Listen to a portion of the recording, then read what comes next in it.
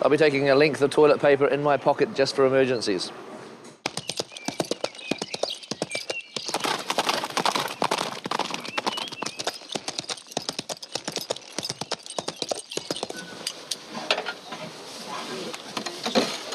Thought those turret things were on the outside, but maybe there's different. Oh, well, it's obviously the right side. Honestly, I thought I'd just throw a blue behind it when we get the line up and shoot an element, and then that would become the basis for the painting that we pin into it. Right.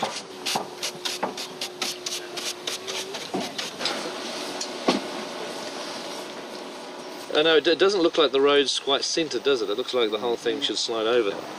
As Gandalf comes here, the camera will start dollying and it'll eventually dolly and pan off the wall and through Yes. into the thing there. But yeah, okay, good. Well, it'll be good. It'll be great. It'll, be, it'll actually make it a, a, a really good shot. I think so. A really nice shot, yeah. Okay, good.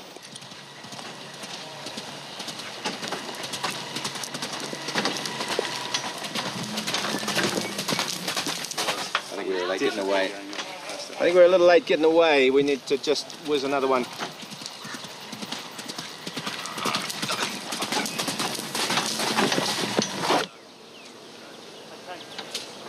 Just to try and get, get in a bit tighter. But um, we might need you at the moment. That just the way that your staff falls, it goes across your face a little bit. So Oh. might need to either just hold it back slightly or to take it out slightly. Been shooting for about four months now, and we finally get to start to do things with the villains. Like we've done a lot of um, shooting with the hobbits and Aragorn and our heroes, and it's great to finally get the dark part of the story um, on film to start to set up the sort of the opposition, as it were. So it's good. It'll be fun to do this stuff. Alrighty, we are ready, folks. We're shooting this light. This is a shot that uh, reveals uh, a flock of crows that had been sent out by Saruman to spy on the Fellowship, flying down through a hole in the ground down into the caverns below Isengard. So, in order to do this shot, we're using four different sets at different scales because the crows fly deep down into the earth, and these are caverns one layer below the next. So, this is the first cavern. Above that, we've got a model of the of the ground plane, which is a much smaller scale. Come down into a much bigger set, set, which is this one. Fly down, swoop around through there, come out through a hole at the end of that set into another set. fly out of that and into another set. And in that set, we have a live action shot of Saruman shot on blue screen. In order to do this, of course, each set has to have a mat at the end of it so that we can insert the fourth, the, the set that's coming up, in through the hole. So we essentially stack these things up from back to front. So essentially they're all stacked set, mat, set, mat, set, mat, all the way back up to the surface.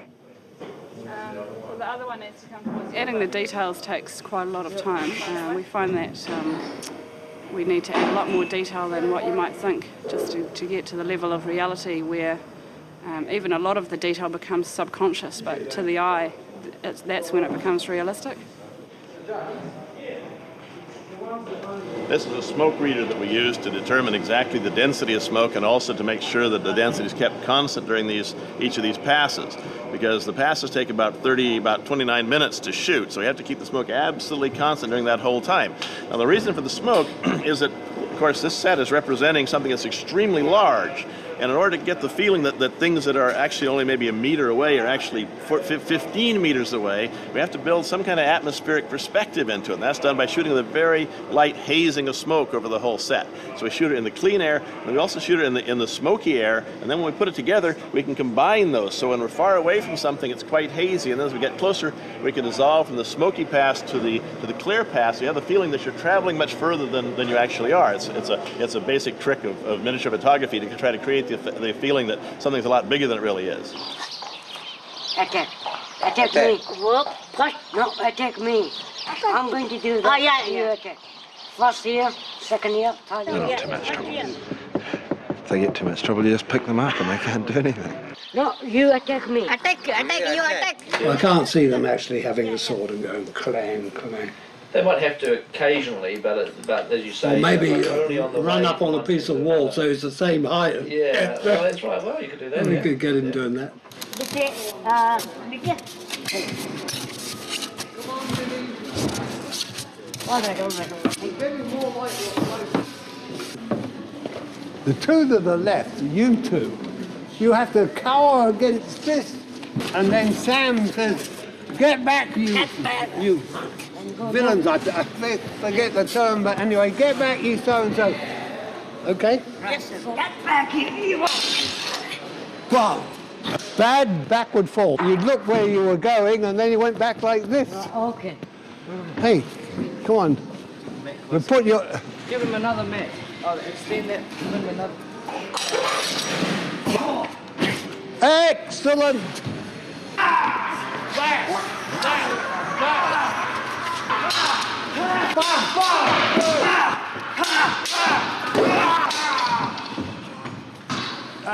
Okay, that's good. Half him up. great.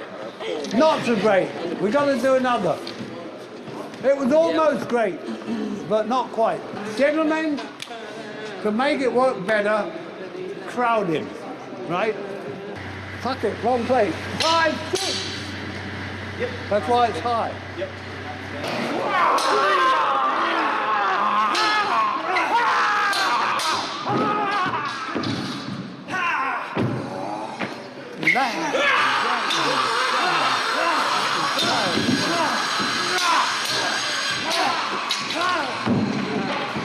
I want your head to touch back. Yeah, it, On his spring. come on now. Okay, try Do it. it, go. Right, yeah. Go on. Boom! This works out well where you can sort of probably not, not, not use the master very much too as well. Yeah. Which would be quite good, wouldn't it? If you don't use the mouth, then what about your eyes? Do you reckon it it will be contact? No, no, they'll, they'll be fine. I mean, let- we'll, we'll just have a look at the uh, the footage, but I think we're not go- gonna gonna notice. I think we'll be we'll be sufficiently far away. Yeah. Really? I think I think you'll be okay. I think this this will be better than a mask, wouldn't it? yeah. Martin, you look just like him. Lucky, lucky man. He's flattered. wow. So can we just strip everybody? Strip everybody down to their um, jackets and uh, Do we need some so sunshine? keep the trousers on. Stand in the line, act like you're gonna wait for the bus. And then when I say mingle, you mingle. But don't cross the line. Because then you, you lose points. Roll camera. Right. Set. Your call, sir. Okay, and if you could, uh, if you just just do a little bit of you know rocking around. Nice to see you. You like a, a kind of Maybe let's How's the missus? Good, man. Good. Hello. What's your problem? What's your problem? well. What up, bitch? What up? I'll show you. Let me let, let me demonstrate. Okay. Continuing on doing So we all we all start here, right? And just just go across to here, and then uh, and, and be looking looking around left and right.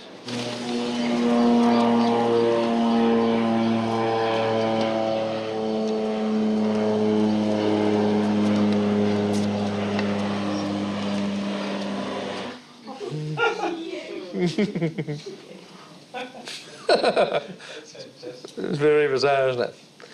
It's a good one for the old DVD.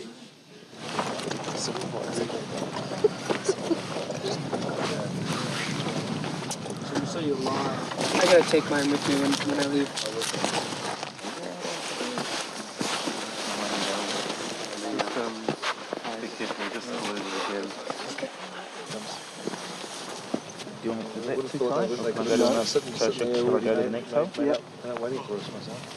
name's Katrina Talbot, and I'm the back half of Bill the Pony.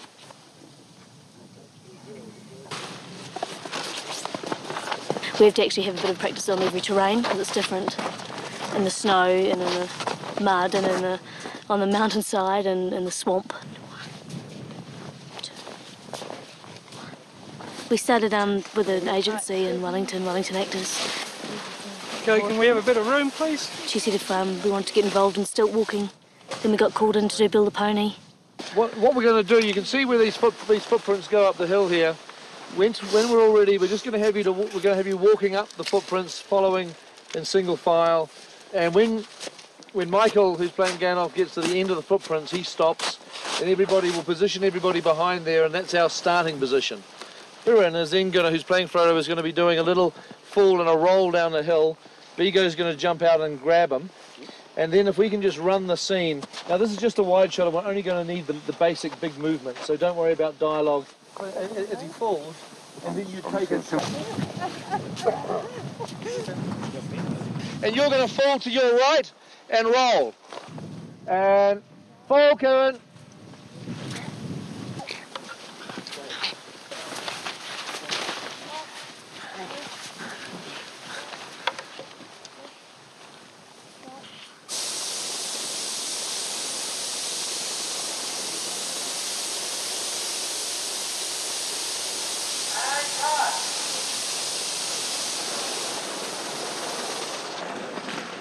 We've got the scene where we're walking through the snow.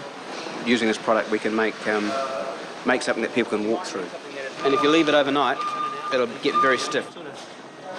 And then we can use it for other bits of snow. And they use it to insulate houses. It's amazing stuff. It's the best snow we've had.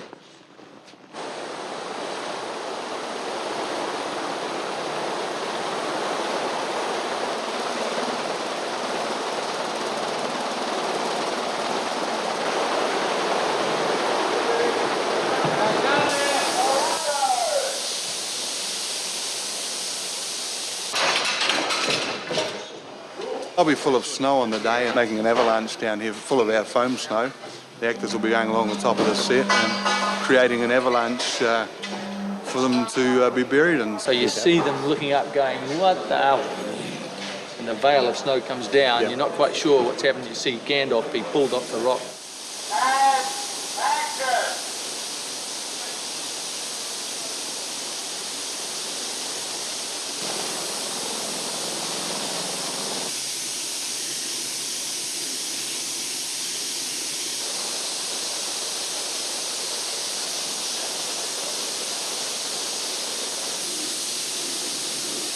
The uh, simulated snow is a rice-based product.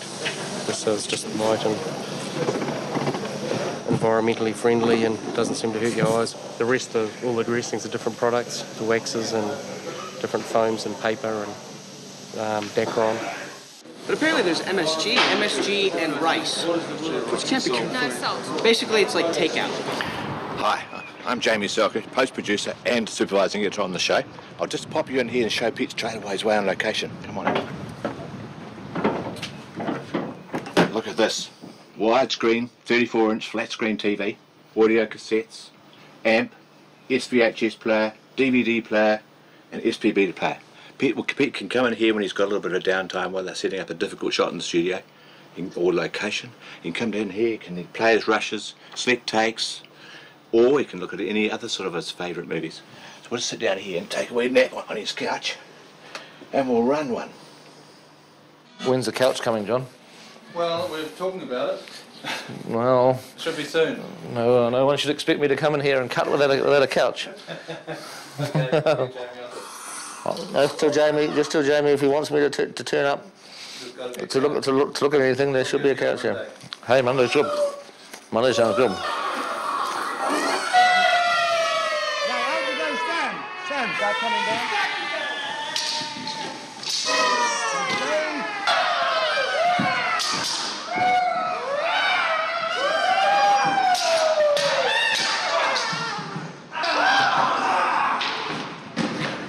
Kieran's birthday. What was it on Tuesday? Tuesday, On yes. Tuesday, it was Kieran's birthday.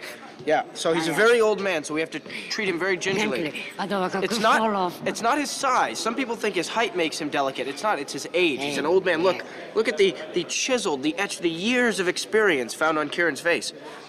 And later, you'll be able to see him wearing all of our faces.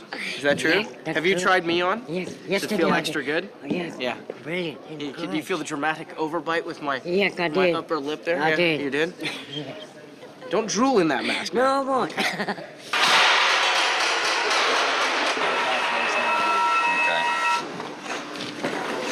Any particular shot, we're going to have a floating moon Yes. on, a, on a scissor. And Like, like a moon. Oh, you, you mean a, a, a light? Yeah. Yeah. I mean, if he wants light coming in through the forest, he's screwed, yeah? No, no, no. They can they can shoot down over here. They can light above the glass. I think we're going to be working in here predominantly with steady, Steadicam myself. Yeah. Obviously sticks at times, but I don't. A lot, a lot of, I, th- I think a lot of the feel of this really suits St- Steadicam. Yeah.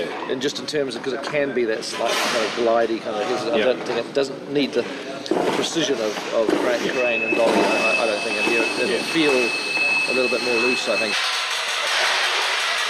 Is Frodo at the back? Is it Sam in the front? Yeah. And on action, they'll just slowly come down.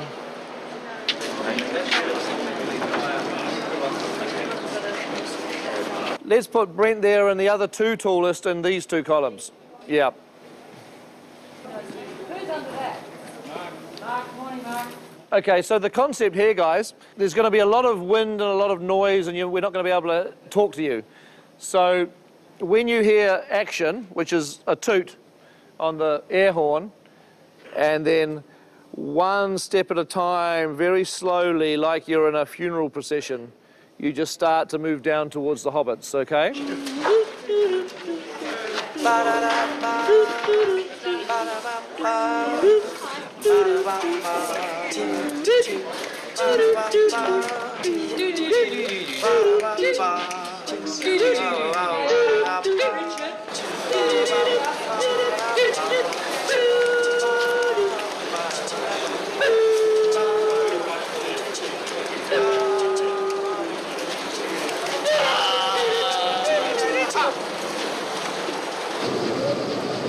Hello, Jan.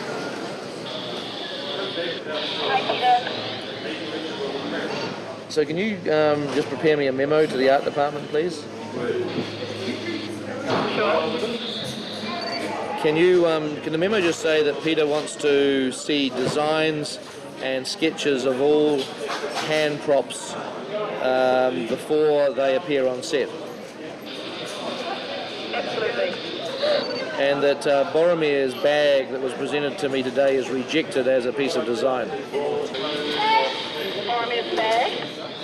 Boromir's bag is rejected as a piece of design. I, I don't like it. Okay. And that Boromir will need a bag um, within the next two or three days, I guess, so that they better come up with some ideas. Do I have my bag at this stage? Yeah, I just need to. We'll drop that down on final. Because I don't know if I have it at the Moria Mines.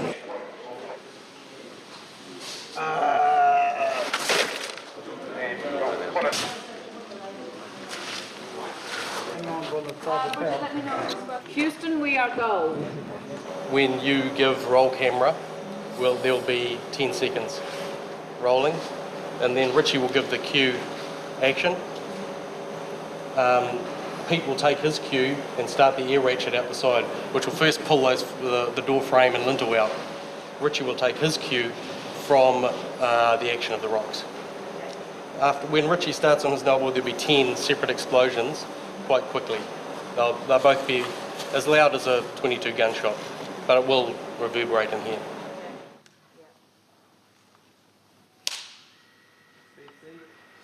Speed on eight.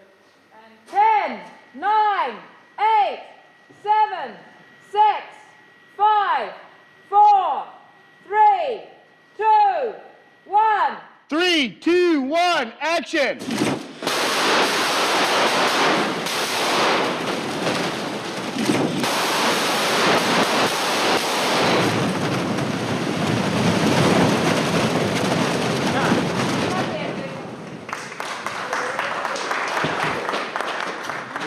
Let, us do one more of those, just for luck. It was, it was great.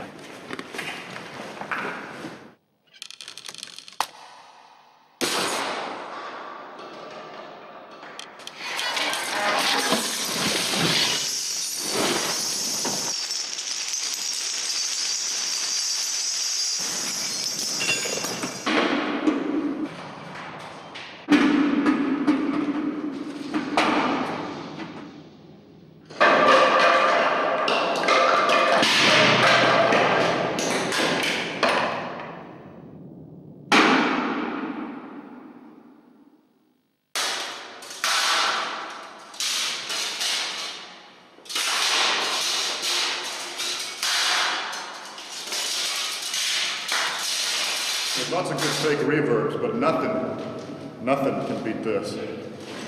Real thing. why did you get out of the office? Well, I want to hear it from wherever, what it, just what it's like. If you want to just, um, we've got um, a sequence of cave troll voices that Peter has listened to and likes. We're going to try to play those through the speaker here and get the natural ambience of the tunnel. Mostly that'll be used for off-camera shots in Balin's tomb. Hey, Dave, do you want to power that thing on? It's on? Is it pretty loud? No, it's just pretty scary. Can you get any more out of it?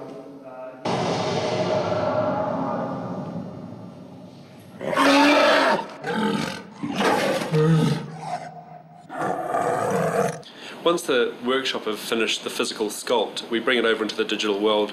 And the way we form that bridge between the, the, the physical model in the workshop and the digital model here in Weta Digital is with the uh, 3D handheld laser scanner. It's what we use to get the model into the computer. In the old days, we used to animate, you know, just one frame, you know, frame A to frame Z, and that was it. You wind up spending as much time probably animating a scene as you would doing it in stop motion, uh, or maybe even more time. You spend that time refining the work and making it as good as you can make it, rather than uh, just you know s- slowly, carefully, you know, walking the tightrope of uh, stop motion, where you go from frame A to frame Z. But Gimli backs into there.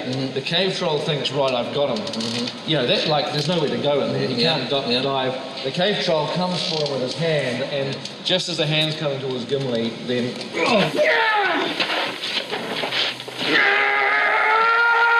Except for the uh, two hobbits jumping on the troll's back, really most of the scene up till that point had been played on the floor and not on the mezzanine or on the second level, right? And but you know, getting getting into the set before the set was even built, when it was just built in the computer, I found that well, you know, if we get a lot of battling going on on the second level as well as the first, you'll be at you know you'll be at, at troll eye level, which is kind of neat because everything else, everything in the storyboards is sort of you know looking up at him the whole time. Now, what what I think would be good to, mm-hmm. to try and, depending on how long this lasts, is that, is that the full length of it? Is it? Yeah. It'd probably be about half that length. Yeah. It'd probably just be a woof. So Yeah. Seems like Okay. Aragorn would come from there and just Okay. like get him in, get Yeah, him in okay. the flank. Sure. Uh, once you have that basic choreography in the miniature digital set, what you could do was then put on virtual glasses and see that choreography from the point of view of a camera you were holding in these glasses. So you grab the camera and you run around and suddenly you're in the set with this big troll and you start covering it like a news cameraman, basically. Uh, and he wanted it to have a sort of slapdash, non uh, compositionally oriented feel, I think. Feel like it's like everything's being grabbed.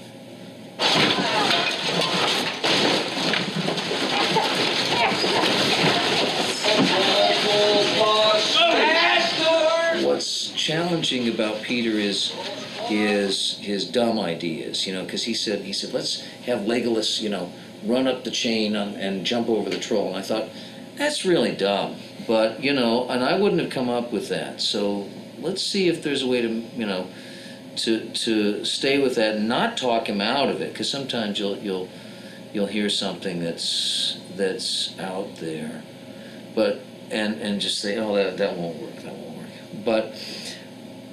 I've seen enough of Peter's work to know that A, he's out there, and B, he usually makes the out there stuff work. We get on the set, and Geoff Murphy's directing it. They're setting up to do Orlando running across this thing.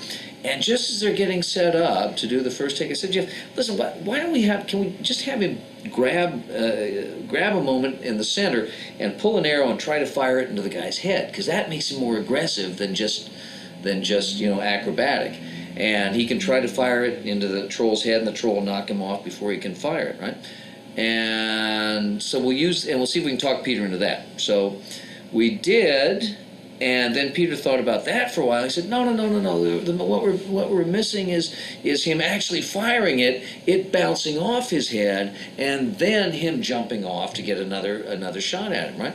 So that's sort of how that you know that's sort of how the collaboration has worked. Well, he'll you know I'll have an idea, then he'll have an idea that tops that, and I'll have another idea that tops that, and he'll have another idea that tops that. So they just keep it keeps building, you know. Okay. Here we go. Straight into one, please.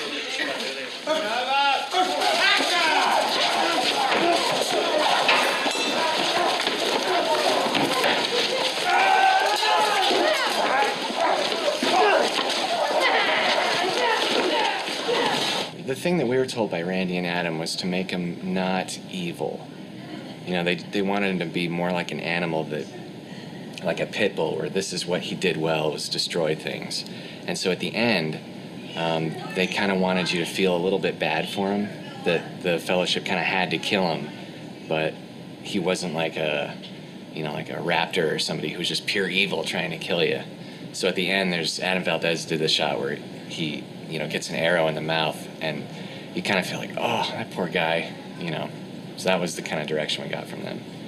They've got to defend themselves, and the only way they can stop him is by is by finishing him off. But that doesn't mean it's a great cause for celebration when they do finish him off. And I frankly don't mind if the audience feels a little bit dirty when it's over. Being given the Balrog uh, as the first creature I had to texture was uh, quite intimidating, considering uh, it's it's the main nasty creature in uh, film one. We had the big maquette hanging on the wall that was beautifully sculptured. We took that and photographed it, and I used that as the basis of the design for the, the way the wrinkles would flow over the body. Uh, then I took photographs of elephant skin and used that um, to get the really fine detail um, into the surface texture. Uh, I think we have a total of around 14,000 total, total textures on the Balrog. And uh, it's it can be a lot of work to actually just merge the different layers together, especially with a creature like this that is self-illuminating. He lights himself from inside, essentially like he's on fire the entire time. So we needed to see the global amount of how much he could light up. And this is definitely taken to the extreme, and we have a couple of areas where he just gets white hot that we uh, have toned down quite a bit. Uh, and then this is, of course, just half the creature, and then it gets duplicated to the other side, and it makes it faster for the texture painter to be able to paint that way and see what the creature is going to look like before having to do twice the amount of work. Well, this is this is just the uh, the various views. This this is the view that um, we've finally seen up on screen, um, and this is exactly the same moment seen from various different perspectives. You can twist your way around it to see uh, how things are looking from various angles A little representation of where where Gandalf is on the in the final thing there. Uh, the difficult thing that I've been finding with this shot is getting the uh, the transition between the Balrog coming forward a threatening manner and uh, and re- the realization that the supports have gone out from under his feet. There's a kind of a moment in between those those two ideas that's uh, been a bit of a tricky transition to get. When a set dies, it goes to set heaven. We have this person called the Strike Master. Grant Fahey comes along with his little elves and destroy it. It's a, it's a fast process, and they start from the top. They go to the bottom and sweep it out. It's all over. Tragedy.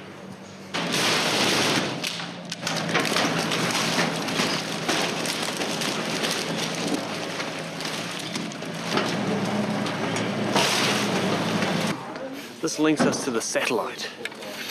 We send UHF over about three kilometres, then we send a satellite, God knows how long that goes, it goes to Wellington, and then it goes uh, into space, and then it comes down again and goes to Te Anau at the moment, because that's where the other guys are. And this, come with me, I'll show you.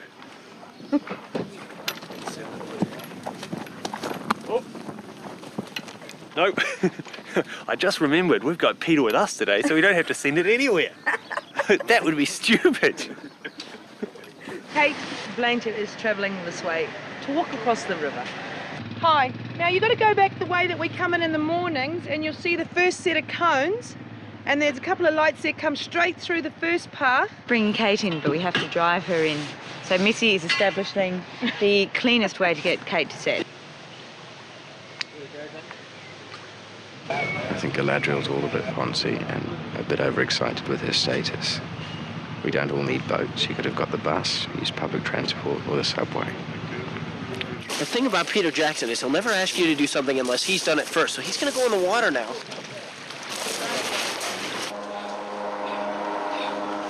Mr. Frodo!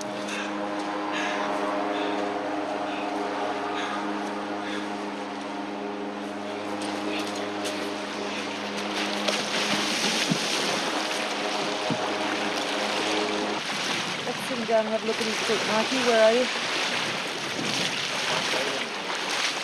Let's sit him down and have a look at his foot. You want to sit on the bench or do you want to sit on a chair? Uh, we can go to a chair.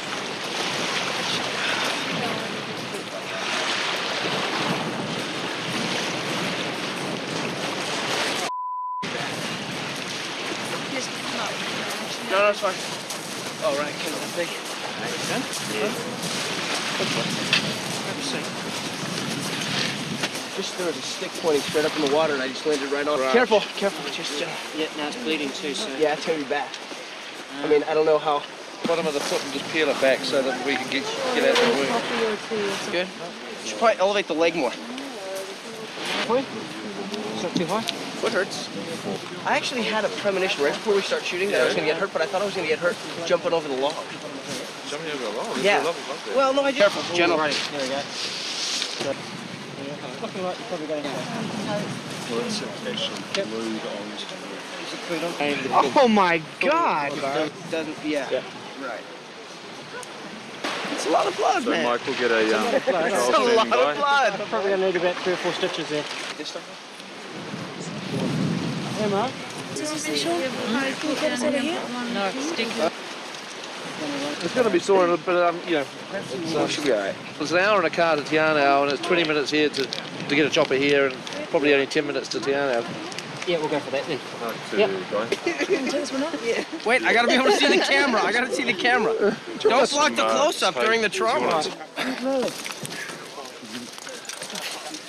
Feel a screw going. You should feel the screw going deeper and deeper, deeper into your shoulder blade. Now we should do a bit of a rehearsal with Sean, just prac- practicing. With his arrow. Getting used to the arrow. Getting used to being a man with, it, with an arrow.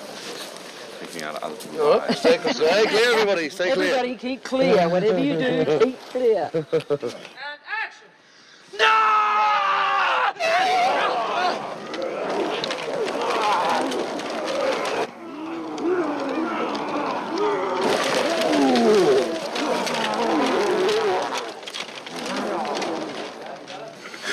And then I could have the Iroquois just like this with the pom-poms cheering me on. Goodness. Ow! Goes to you! Go Lex!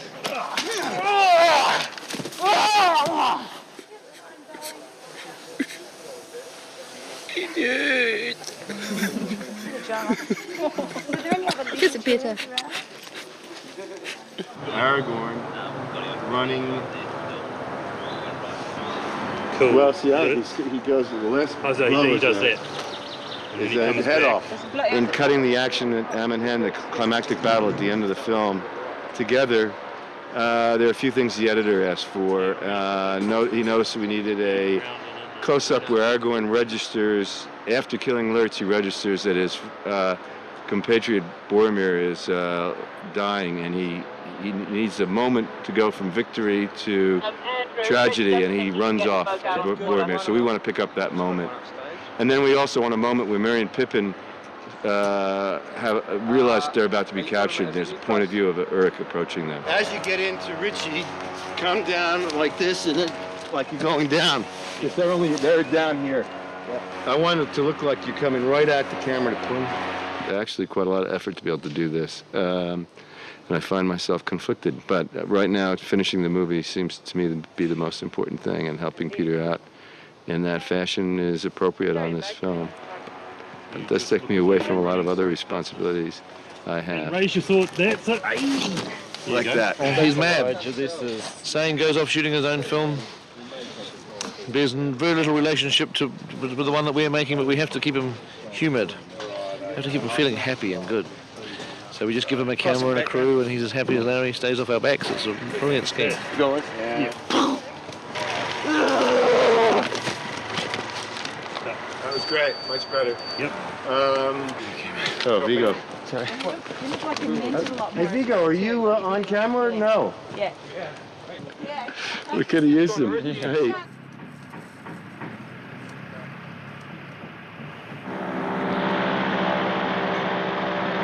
I'm waiting any second they're going to say I have to go back to work.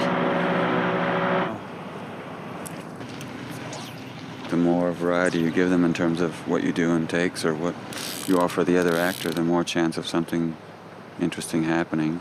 If you don't do anything thinking, well, they'll never use it, then, then you're giving them nothing. And when we're going at the rate we're going here, it doesn't seem like it here. I am fishing and all that, but, but that's because I'm waiting between shots. But um, we don't have much time to get it really right, so the more you can throw out there, the bigger the better. I think I better go learn my lines and forget about this for a while.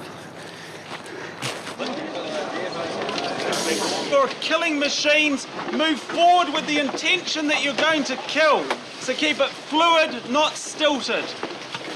Give it the best you can. Thank you.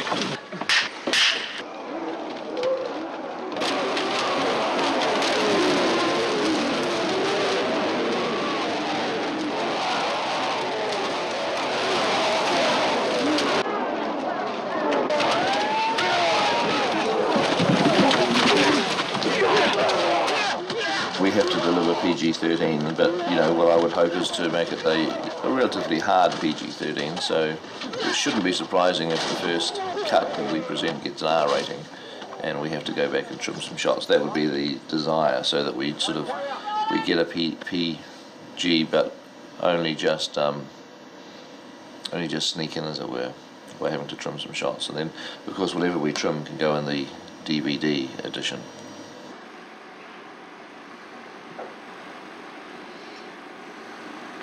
You've got very tight eyelids. Yeah, they. Oh, it's going in now. It's How's good. that feel? Beautiful. Just keep on looking down.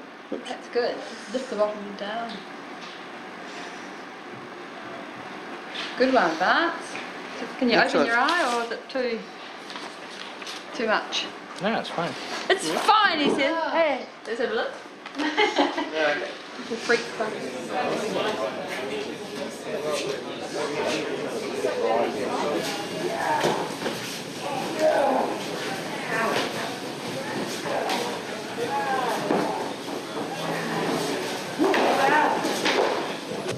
You'll arrive, the others will arrive behind you, Thomas will arrive, ah, and then go. So it's, you're only probably on there for two or three seconds. And we'll make sure once they co- they'll come straight behind you, and just we'll make sure everybody stops in a, sa- safely. Everyone, people should just move in and grab grab a goblin.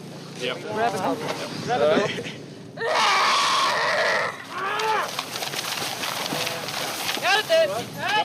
The only difference between our background and our hero costumes for our goblins are pretty much as the hero lightweight chainmail, which was conceptually thought and designed and produced for this particular film. It's a chainmail that's one fifth the weight of steel, so the character's able to wear the costume for a long period of time without feeling any fatigue from any exhaustion or weight. Well, this is chainmail. Lots of it. This is a Moria Orc suit that I'm working on at the moment. There's 13,000 rings in one of these suits when it's finished, and it takes approximately three days to make up one of these suits. Some of the other suits are considerably more because the mail is a lot finer. Here I am putting together plastic rings and I love it. Absolutely mad as a meat axe, but I love it. And for me, it's been about five months of non-stop. Just the calluses on the ends of the fingers. However, we'll get there.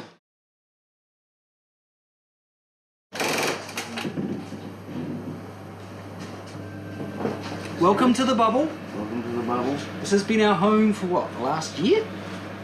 Two years. No, we only had the bubble for about a year. And the hostage. Oh, and the hostage, yes, we can't forget the hostage. He still hasn't coughed up his secrets. This is five million rings that we've put together, which is 10 kilometres worth of chainmail if every ring was stood on its edge. The only reason we know this is because the amount of materials that we've ordered through the supplier comes to 10 kilometres worth. There's twice as much chainmail as ever was originally asked for.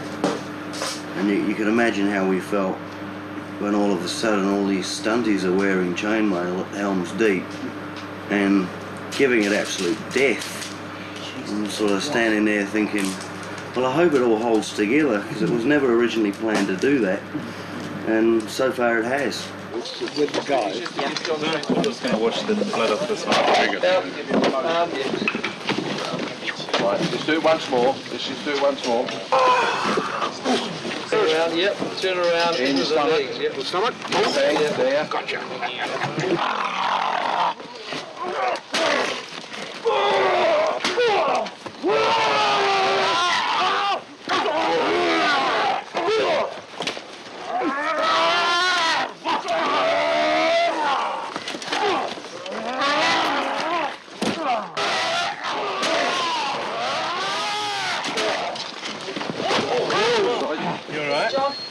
Big peak. Right, right, John? Yeah. Well, this afternoon we've got the pleasure of Christopher Lee's company. Five, take two. Quite a few of his, his scenes were at some really bad uh, noise, background noise, fans, Yeah. you know, humming. So he's coming in to do um, his his um, ADR or looping, as they also call it, um, to to uh, replace his dialogue lines. Power. Greatest power. No, I think it's power. You want more? I think power is the word. Three rings for the elven kings under the sky. In a It's the sense, most famous. is the most famous quote of the whole It is. Work. And not only that, the way that you're Seven for the dwarf lords and their horses but stone, nine for mortal men doomed to die, invoking it as- one for the dark lord Yeah. on his dark throne in the land of Mordor where the shadows lie, one ring to rule them all, one ring to the, one ring to bring them all in the darkness, bind them in the land of Mordor where the shadows lie. I mean, that's so famous. It is. In Moria, we translated a text that Philippa and Fran wrote that are based on the scenes of Moria, and the, the text was translated by David Salo uh, into Dwarvish. Just, uh, just to fill you in on a little um, bit of musical history, Billy once did have a trumpet tree which he planted in his garden. Yeah, yeah, it was, uh, it was a, a lovely thing to see, but um, the council came and rooted it premix mode, it's like we're building a house. You know, we're sort of going through all the different sounds and all the different ambiances. I think you just have to punch it up a little bit. hundreds of different tr- different tracks and sort of deciding how that they, they should be juxtaposed to the film. For us, it's where we get to see the film sort of blossom into, uh, take a whole new dimension into what it ultimately is going to be as this wonderful experience.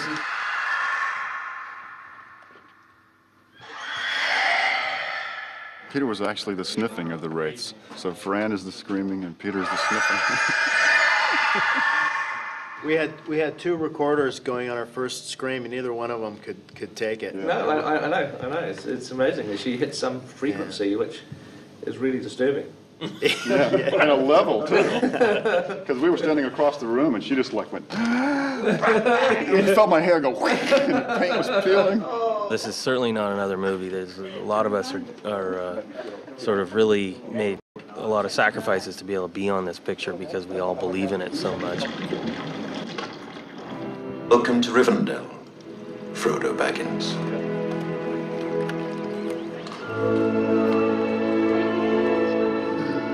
Have it all finished in a week and it'll be a release. It'll be the one down, two to go. But uh, I will have a little break, so I'm sure I'll uh, feel much better after the break and launch into the cutting of film two.